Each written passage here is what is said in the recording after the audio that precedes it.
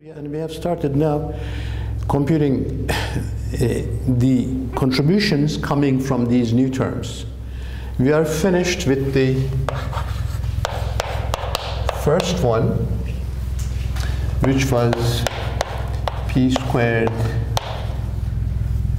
squared divided by 8 m cubed c squared. Oh, actually, we have written it in a nicer way as p squared over 2m squared divided by twice mc squared. This way of write, rewriting also enabled us to compute it easily because the denominator numerator is the, the kinetic energy squared divided by the rest mass energy, so thus the dimension is energy, which is a consistency check, and it enabled us to compute it rather quickly.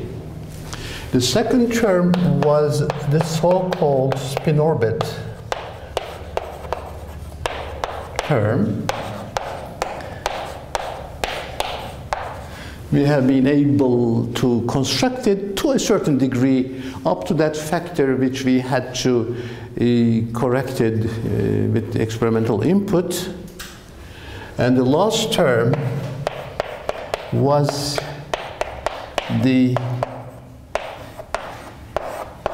Darwin term, as I said, we have just borrowed it from relativity. We have no way of sort of having a feeling or uh, being able to construct it.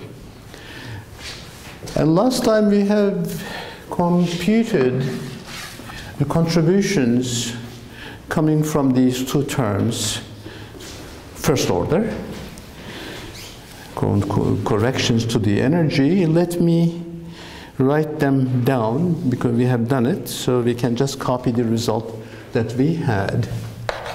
The first one I denote accordingly as delta E1.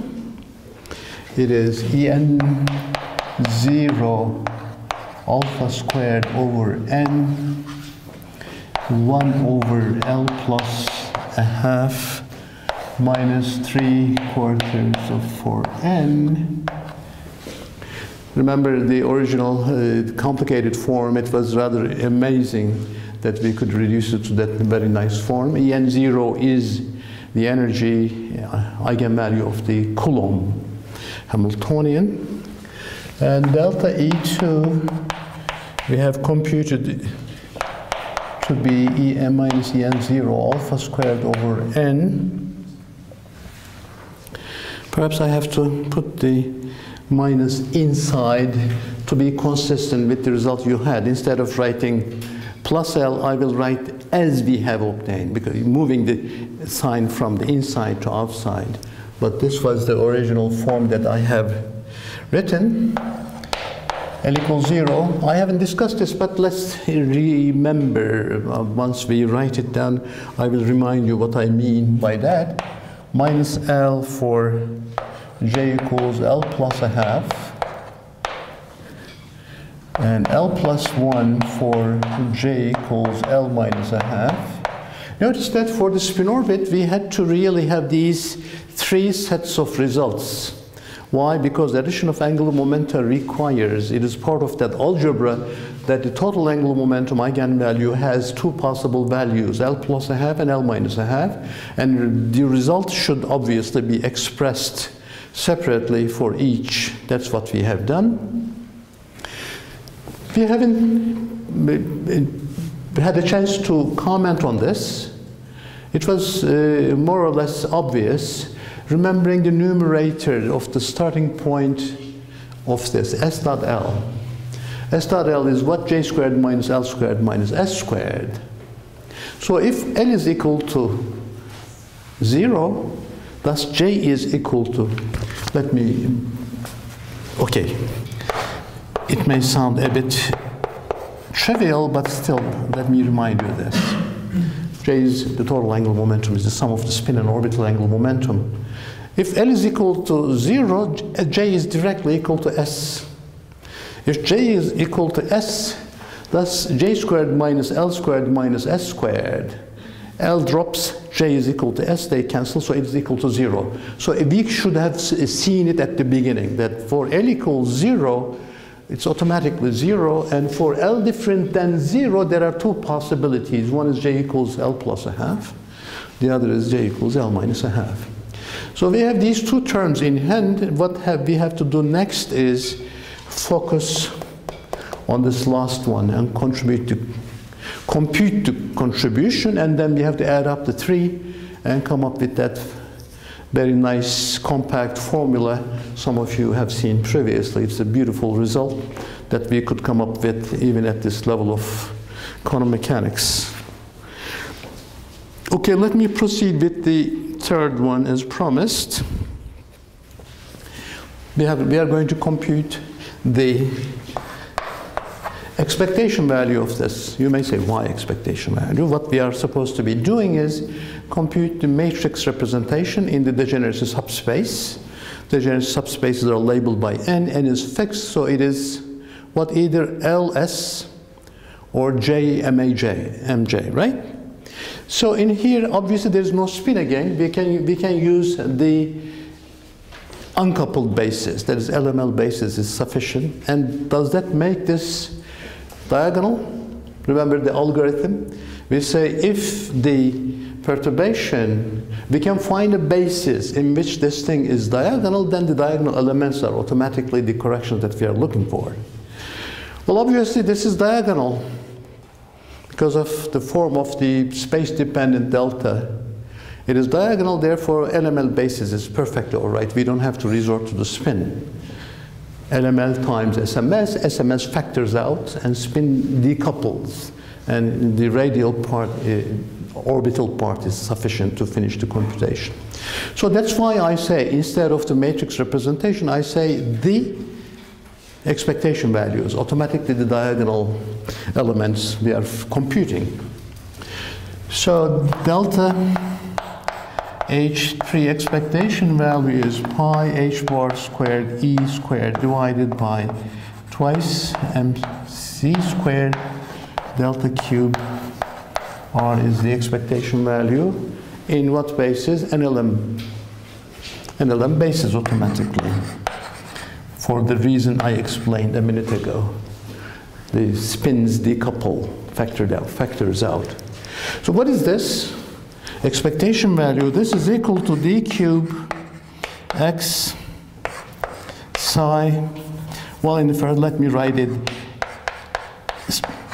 in the conventional form.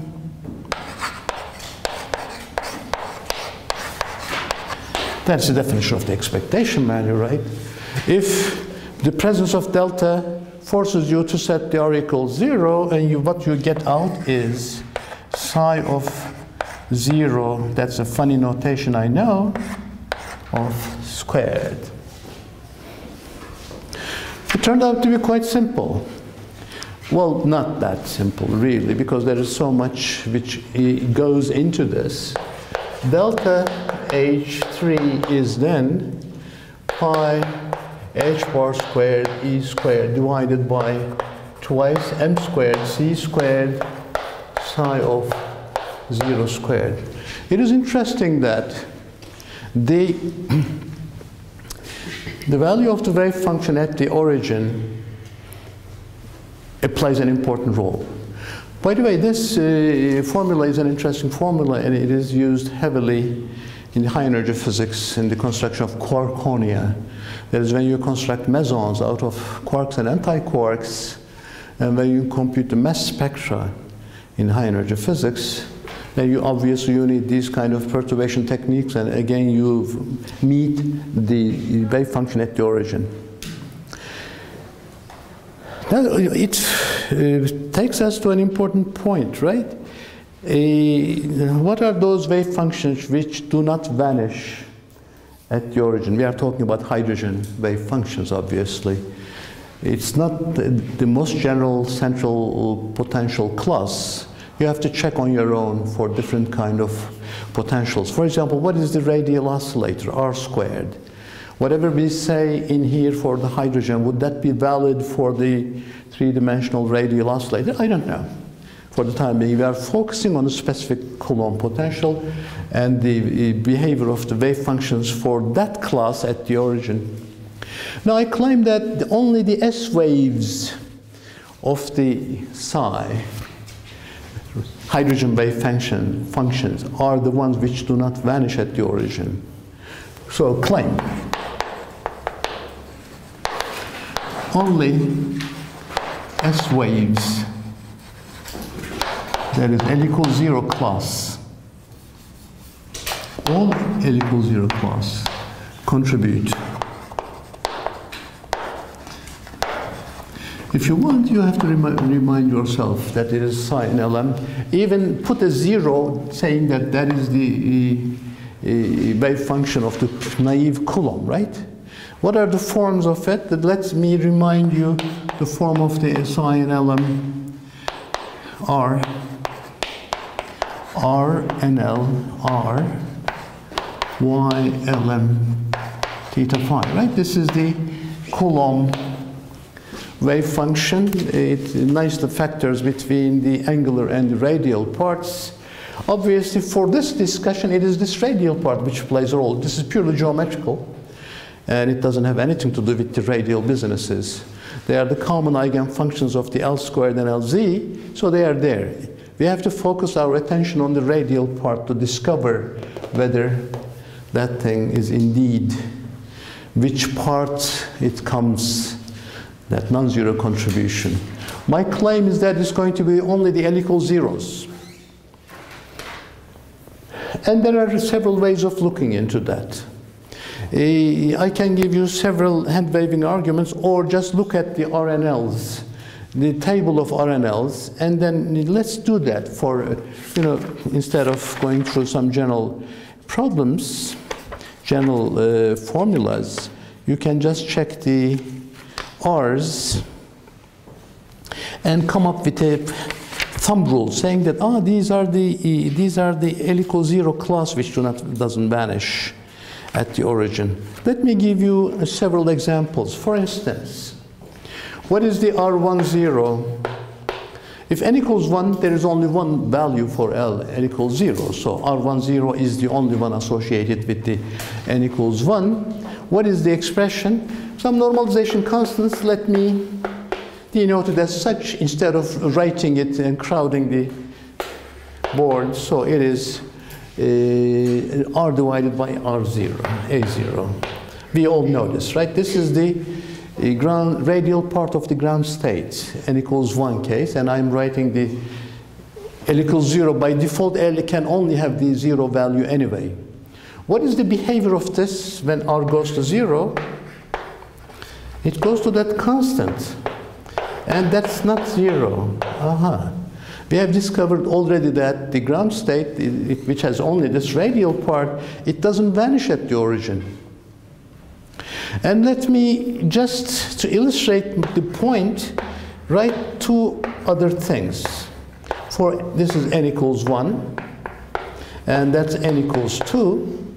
For n equals 2, L has only two values, 0 and 1. If I write the two, uh, R to 0, there are these constants which I denote, just I invented a notation instead of writing those irrelevant things. 1 minus R, two, R divided by 2A0. A0, remember, was the Bohr radius. e to the minus R divided by 2A0 so if I take the r goes to 0 limit, again you see that this goes to 1, that goes to 0, and it goes to that particular constant, which I denoted the radial normalization constant. In order to even at this level, this is not really, this is an inductive way of doing things, but of course this is not the most general way of doing things. Let me write down the R2 one just to have a feeling. It is a, a, another constant, obviously, times r over a0 times e to the minus r divided by 2a0. So if, again, if I go to r goes to zero limit here, what do I get? Ah, all of a sudden I see zero. That's nice.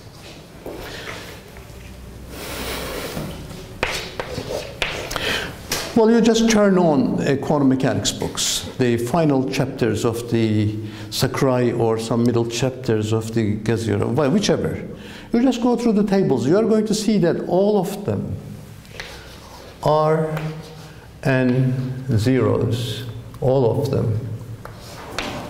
They, when r goes to zero, they go to a the radial normalization constant, which I denote as n0, which is different than 0 and r and else when n is different than 0 when r goes to 0 it goes to 0 all of them when they are not s waves they vanish at the origin. The only one which, which do not vanish regardless of the value of the n is the s waves that's only those n equals zeros. Perhaps I can, eh, although I don't know whether it would be a waste of time, some of these things you have seen, I'm sure, one of the previous courses. But let me, just for intellect, intellectual curiosity, let me write down the radial equation and try to give you a sort of a more profound argument on some of these things. So what if you remember the form of it, that's symbolic, the psi equals r radial part times the angular part, and when you substitute that form in the Schrodinger equation, and after writing r equals little u divided by r, you have seen this in 431, even in quantum physics 300 or 507, whichever, several times by now. Then you can write a reduced radial equation for that little u. By the way, however, here you have to note that in order to have a physical condition that this doesn't blow up at r equals zero, you have to have this physical boundary condition. So when you introduce that little u, you force it to vanish because when r goes to zero, if it doesn't vanish, there is a r in the denominator is going to blow up. That's not a physical solution, of course. So to force it to be sort of uh, have a chance not to blow up, you have to have that also zero. So zero by zero, you can regularize it, right, to make it finite. So if you write now the equation for this little u, it's going to have the following form, very familiar for all of you, d squared u dr squared plus v plus h bar squared over 2m L times L plus 1 divided by R squared U.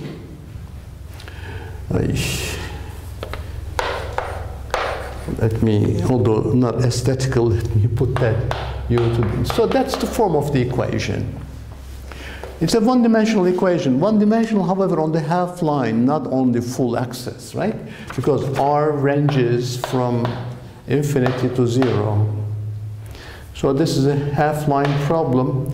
It is not fully one-dimensional. Well, obviously, for uh, reasons that it didn't fit there, I put the u in here. The u must be put in here, right? Sort of this is related to the kinetic. That's the effective potential energy, energy eigenvalue. So, uh, what is the behavior of the solution u around the origin? Origin is a very important region because notice that that brings an, a, an additional infinite barrier at the origin to stop the electron to fall on the nucleus. Because if the electron has no barrier, it falls on the nucleus, of course the atoms will not be stable, right?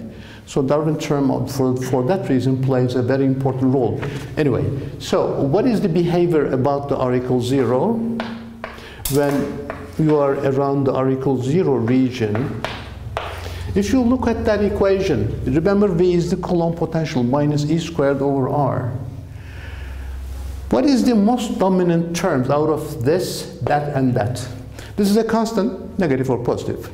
Here, it's irrelevant. That is 1 over r. When you come close to the origin, which one is largest? 1 over r squared is obviously largest. So the equation has the following form. Minus h bar squared over 2m d squared u dr squared plus h bar squared over 2m L times L plus 1 divided by R squared U. What is the meaning of this? This is an approximate equation. The exact equation is that one. This is the approximate equation around the origin. Because when this term becomes large, I drop the constant term, which is obviously becomes irrelevant when this becomes very large.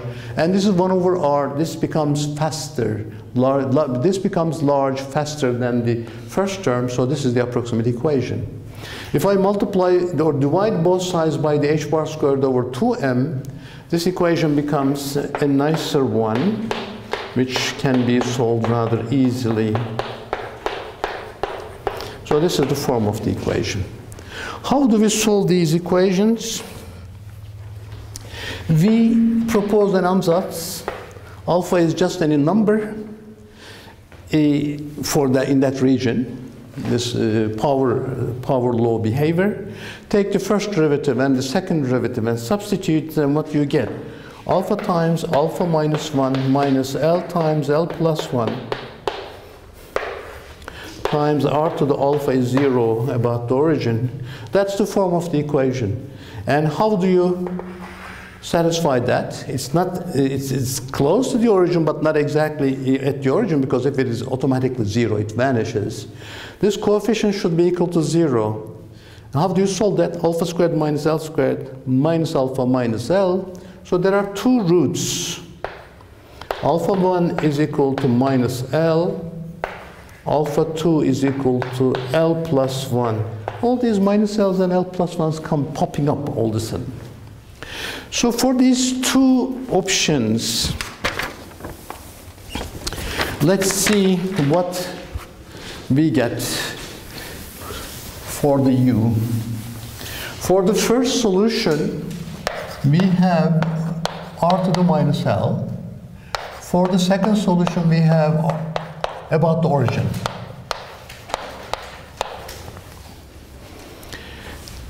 And what about, uh, what's the physical boundary condition? Physical boundary condition is u0 equals 0. What was L? L is the orbital angular momentum which goes from 0 to n minus 1, positive number. That's a positive number, so it is 1 over r to the something. So if you set r equals 0, it blows up so it doesn't satisfy that.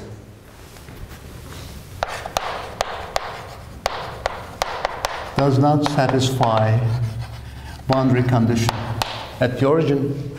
So it's not physical, you, you throw it. Physics is not mathematics. You use the mathematical tools, but always the physical principle dictate the, physical, uh, the relevant results of nature. So that's not a physical solution. This is the physical one. Indeed, it satisfies the boundary condition. It vanishes. So that's good. If that is good, what is the R associated with this one? It is R to the L. That's R. For L different than 0. For all L different than 0, for a given N so all these physical solutions, let me erase some so that we don't get confused. All this R class, they vanish at the origin. So what we, I discovered is that all L different than zero radial solutions vanish at the origin. But this doesn't, of course, guarantee that L equals zeros do not vanish at the origin. It may just so happen that they also vanish at the origin. So if that is the case, then the Darwin term would be zero. But I have checked some of these examples indicating that L equals zeros for n equals 1, n equals 2, n equals 3. Look at all the tables, they do not vanish. So these two, and uh, at least, constitute a complete set of saying that I have to focus on the L equals 0. So this result will be taken with L equals 0 the only, as the only non-vanishing one. So a better notation would be then, I have to write it there, the following.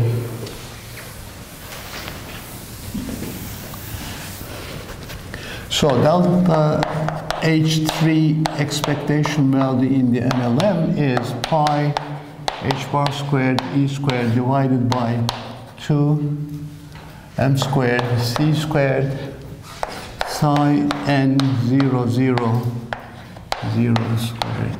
I have taken into account the fact that it is L equals 0. Okay.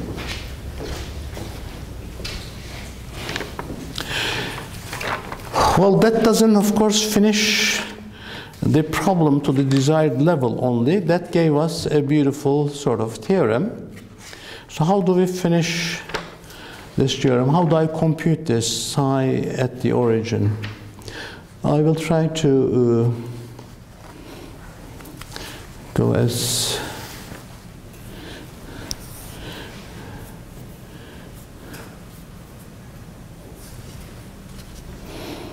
fast as possible, but let me see, I can do it quickly.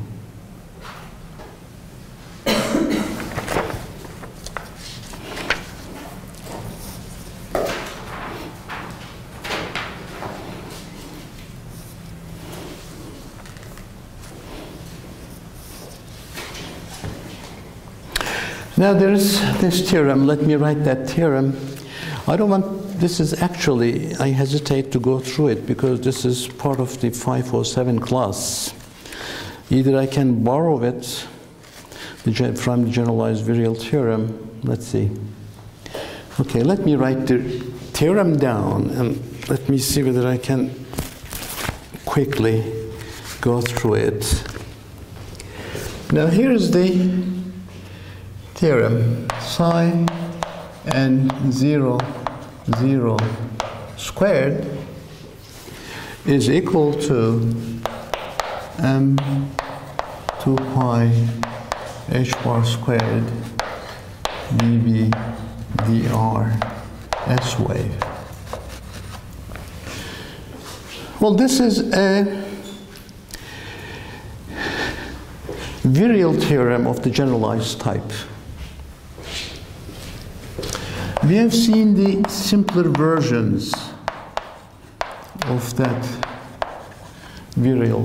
Of, this is a more involved, more developed version of the virial theorem.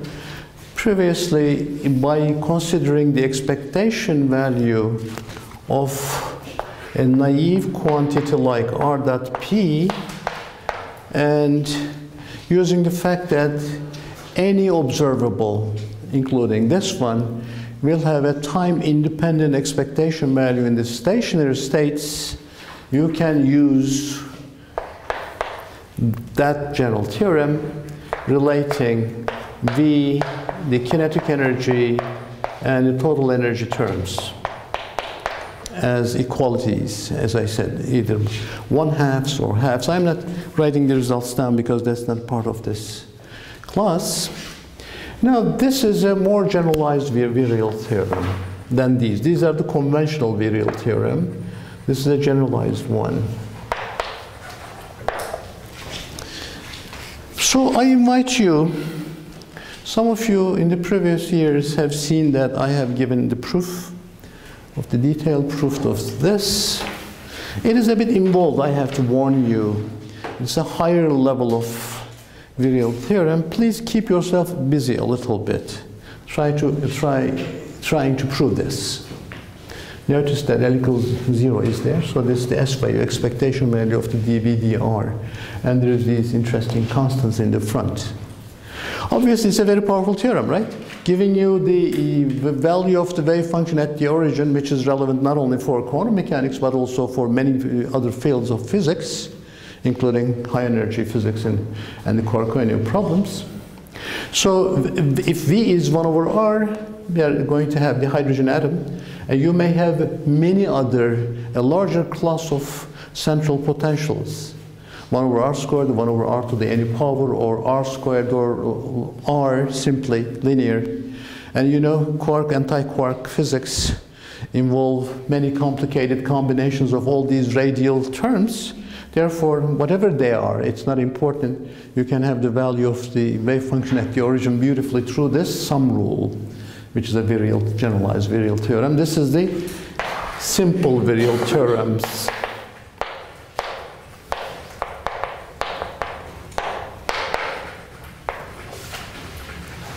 as compared to the generalized one. So what I will do is now use that uh, theorem to predict this, to substitute up and finish the contribution, and also remembering that it is delta L for L equals zero only, meaning there is a delta L0 there all the time. It doesn't contribute for L non-zeros. Fine.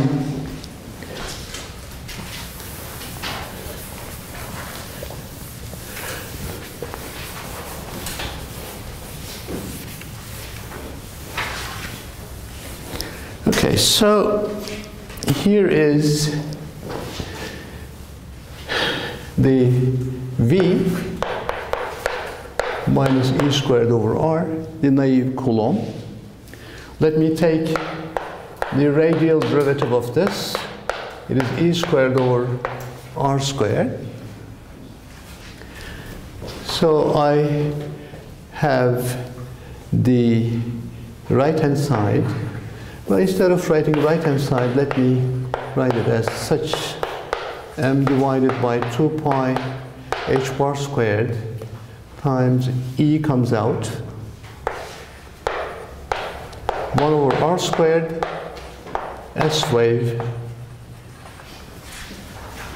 So the result unfolds, but I have to warn you, actually, as I said, the real crux, the real intellectual challenge is to proving this theorem. Once you have proved this theorem, this is a simple arithmetics, right?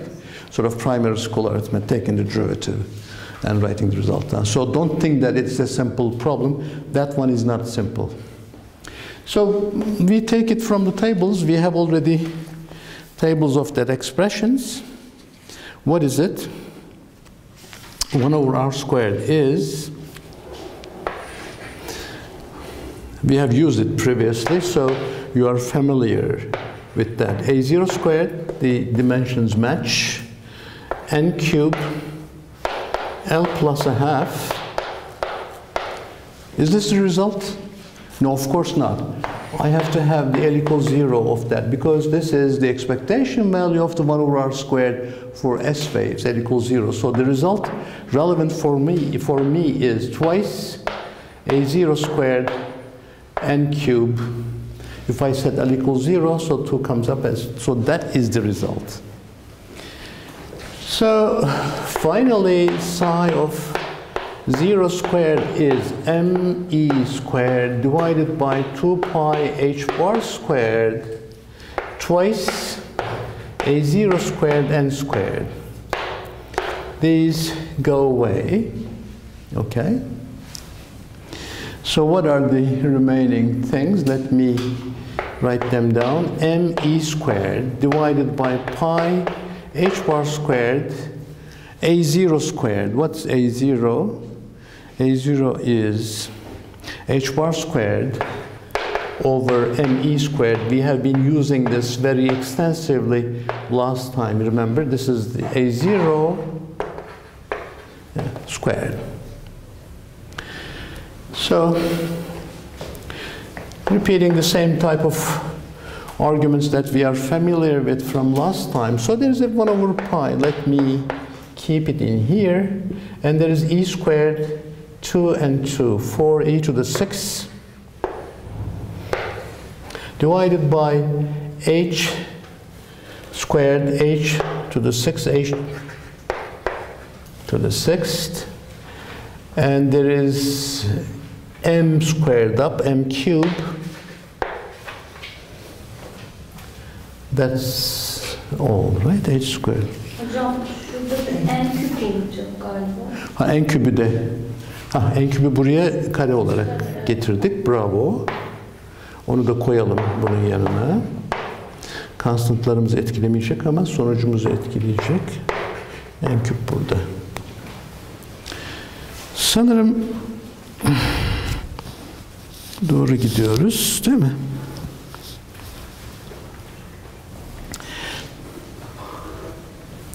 Power'larımız doğru mu arkadaşlar? Önce ona bakalım.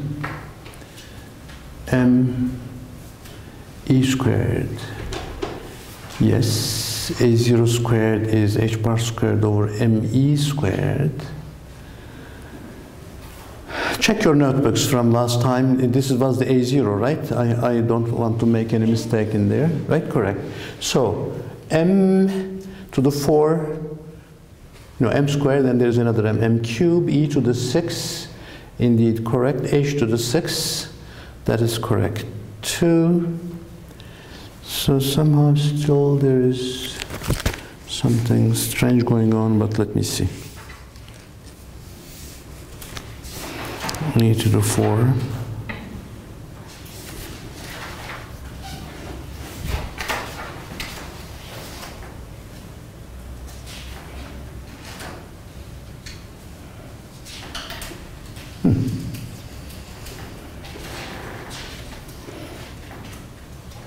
I think correct. Okay, let me finish the result. So what do we get out of this? Let me write down the result for you.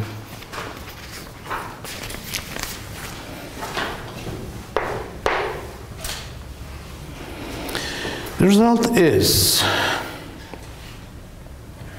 first of all, perhaps you have to uh, see that we can form a what alpha cube, correct?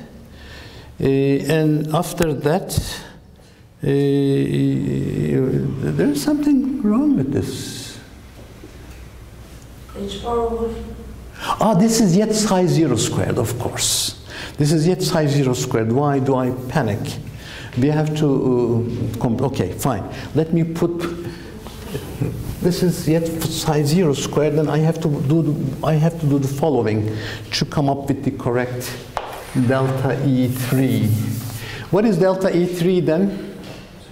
Delta E3 is, of course, we have erased it, right? Ah, that's the one. So delta E, delta is still delta H3, expectation value is pi h bar squared E squared divided by 2m squared c squared times this psi 0 squared that I had in here, which is 1 over pi e to the 6 m cube divided by h bar to the sixth and let me factor 1 over n cube out. So I had the good reason to panic because the constants were not matching to the alpha to the 4. We have to catch alpha to the 4, right? Part of the alpha squared is going to go to en0. Another alpha squared suppression will be coming. Now we are having it. 8. Pi's canceled nicely. That's they're totally outside Thanks. So e to the 8. There is an m in here the remaining m, that's also correct, mc squared will give you the en0 contribution. So h bar squared, h bar to the 4. And we have a c squared in here. And there is an m in there. And there is a 2 in here. And there is 1 over n cubed. I think we have written all them down. Here we need the additional c squared to complete it to alpha to the 4. So I will use a different color for that compensation. I will convert this to 4 and put the c squared, correct?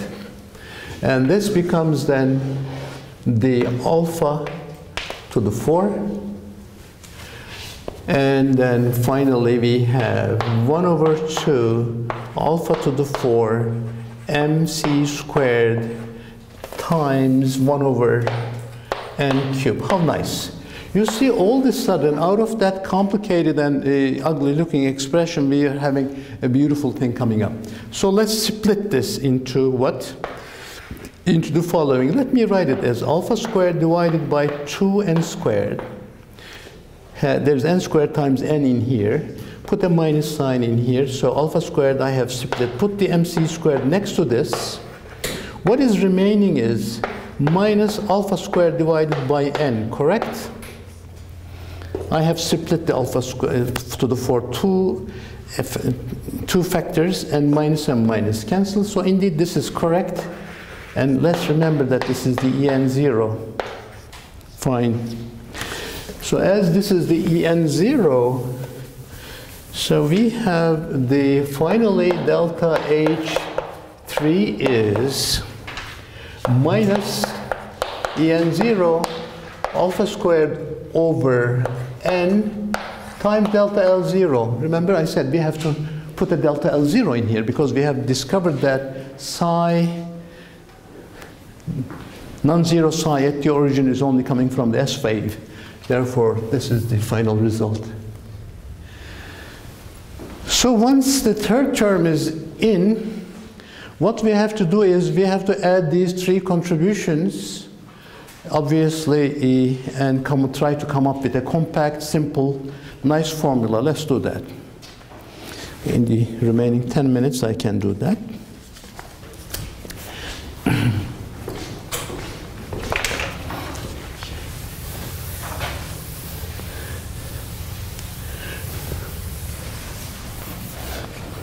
By the way, I have to confess one thing.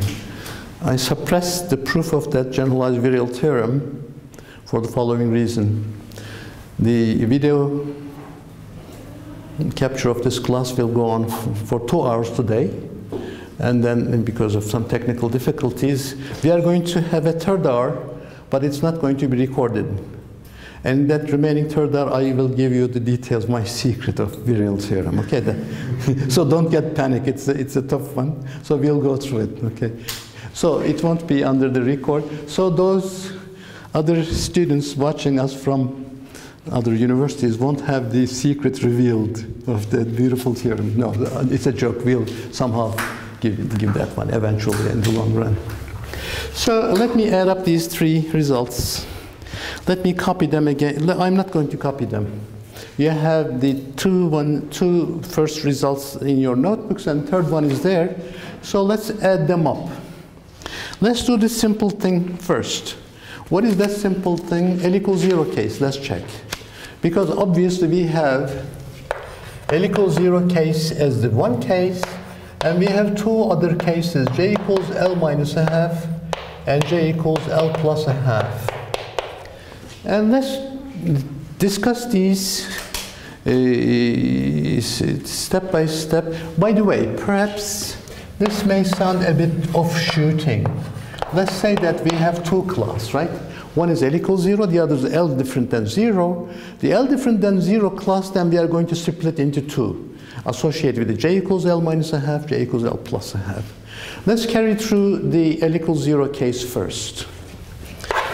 So, 1, L equals 0. So what I have to do for the L equals 0 is sum these i equals from 1 to 3. I have to take the L equals 0 from the delta E1. Look at your notes if you want for a brief second. If you set the L equals 0 in that delta E1 expression, what you have is the following. Delta E1 is it was En0 times alpha squared over n. And in that bracket, there was a L plus a half. I'm going to use eraser if you allow me. So that's 0 plus a half. If I set L equals 0, minus 3 over 4n. So then this one, this factor becomes... Aslında bu iyi bir renk değil değil mi? Bu yeşil tahta için değil tabi. So this becomes 2, 1 half, 2 minus 3 over 4n. So that is the contribution coming from delta E1 if you want.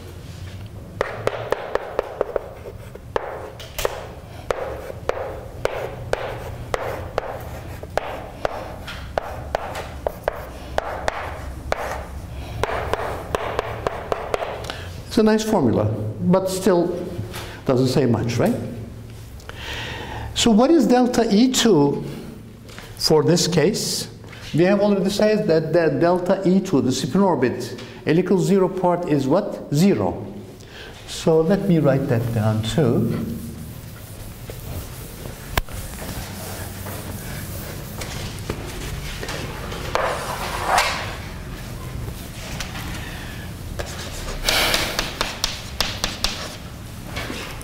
So. We don't have to do anything. We knew that it was equals zero. Delta E3, delta E3 is just itself. It only had L equals zero contribution, remember, nothing else. What was the result now? Minus En zero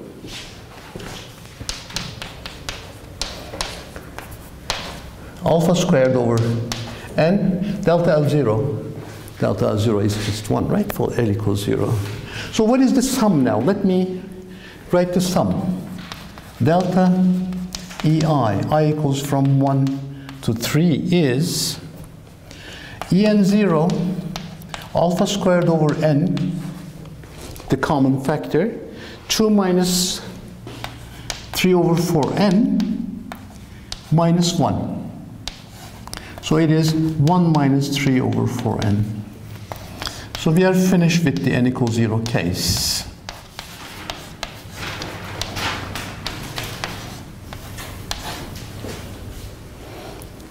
So let me focus on L different than 0.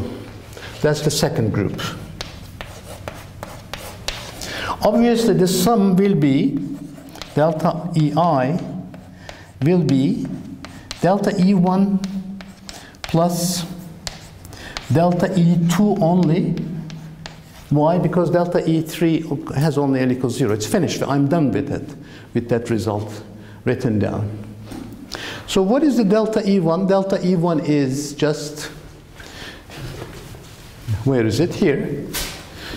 Let me not rewrite it. Put, this is L, right? For the L equals 0 case, I have set it, uh, it equal to 0.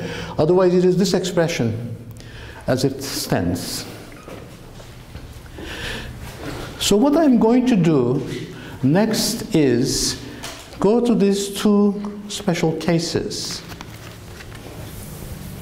Because I know that for L equal none, for L different than zero, I have to distinguish between two cases, if not for all, for the sake of the spin orbit, because for the spin orbit, I have to distinguish between J equals L minus a half and J equals L plus a half. So let me do it.